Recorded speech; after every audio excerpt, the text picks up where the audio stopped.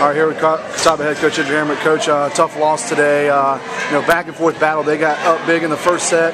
You guys came back, and then they won the next two sets.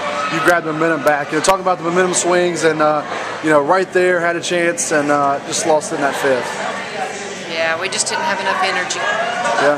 Enough energy. Effort was uh, was all right, but uh, you know, momentum, just like you said, momentum was was the swing. Uh, coming in as a five seed, feeling confident in your home gym, uh, came out a little slow. What changed for you guys in that first set? You really went on and won it pretty easily, and then uh, they, they grabbed it right back. Yeah, again, it goes back to momentum. Yeah. Not wanting to, not wanting to go ahead and finish it off. The fifth set got up 12 to 10. Uh, you know, they called a timeout and came back out. You know, was it just that you were a couple points away, or, or was it you know one swing here or there? Was something in particular?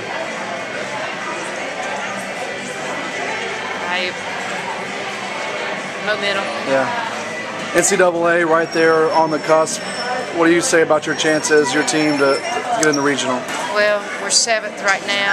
Carson Newman was ahead of us, so I don't think we'll drop there, but uh, we never know what's going to happen in the Carolinas Conference or the Peach Belt, but we'll just have to wait and see. All right, Coach, thanks.